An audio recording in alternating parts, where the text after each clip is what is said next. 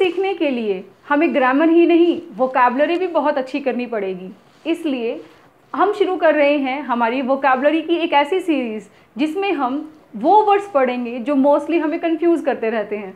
इसके साथ साथ उनके सेंटेंसेस भी कैसे बनते हैं, वो पढ़ेंगे और उनकी प्रोनाउंसिएशन को भी देख लेंगे। तो चलिए शुरू करते हैं। सबसे पहले है सिस इसको बोलेंगे सिस मतलब बंद करना। कोई चीज़ जब हम उसको स्टॉप कर देते हैं। Wonders will never cease wonders means surprises surprises कभी भी ख़त्म नहीं होते, कभी भी बंद नहीं होते। इसी से मिलता जुलता जो शब्द है, वो क्या है? सीज इसको बोलेंगे सीज मतलब कि छीनना। कोई चीज़ हम किसी से छीन लेते हैं या पकड़ लेते हैं। सीज द डे यानी कि इस दिन को पकड़ लो। सीज द डे दिन को पकड़ लो। एवरी मोमेंट इज़ इम्पोर्टेंट क्योंकि हर मोमेंट हर लम्हा बहुत इंपॉर्टेंट होता है। तो इसलिए क्या कहा गया? सीज द डे डे को पकड़ लो।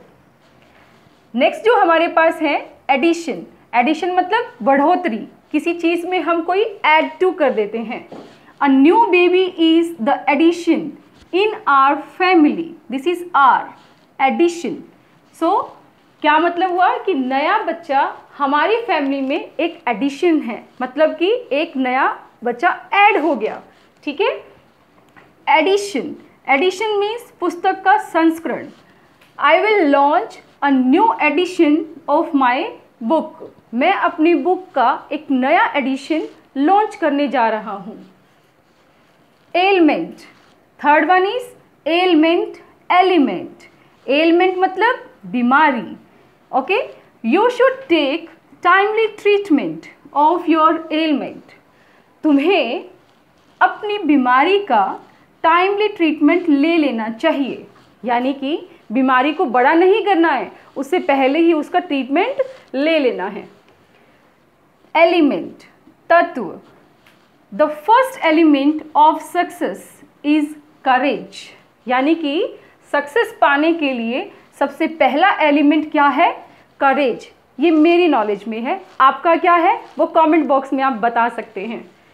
Next is bellow this is bellow and this is below okay so bellow गरजना या चिल्लाना। Zoya gave a sudden bellow of laughter यानी कि वो इतना तेज से हँसी। जोया ने एक बहुत तेज हँसी दी। यानी कि वो बहुत तेज से हँसी। बिलो नीचे the sun went down below the horizon यानी कि हॉरिजन मीन्स जहाँ पे धरती और आसमान मिलते हुए दिखाई देते हैं। तो वहाँ से सन जो है, नीचे जाता हुआ दिखा। Doubtful and dubious this is dubious doubtful doubtful means संदेहपूर्ण। और ये मोस्टली हम जो पुलिस वाले केस होते हैं या किसी ऐसे इन्वेस्टिगेशन में डाउट्स हो, होते हैं उनके लिए यूज़ करते हैं। The police felt very doubtful about the case case के बारे में पुलिस बहुत ही संदेहपूर्ण थी okay and the dubious dubious means संदिग्ध। Sajid remain dubious about his motives Sajid अपने मोटिव्स के बारे में थोड़ा संदिग्ध था। मतलब जब हम खुद के किसी काम के लिए संदिग्ध होते हैं, या अपने फ्रेंड्स या आसपास की चीज़ों के लिए थोड़े संदिग्ध होते हैं ड्यूबियस होते हैं तो ये वर्ड यूज़ करते हैं। आई होप कि आपको ये सीरीज़ अच्छी लगेगी और ये वर्ड्स आप अपने सेंटेंसेस में यूज़ करना सीखेंगे तो आपकी वोकैब पावर बहुत अच्छी हो जाएगी।